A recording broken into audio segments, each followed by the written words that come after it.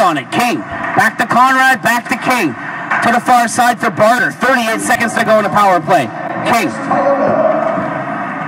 Barter. Quick shot. Conrad there.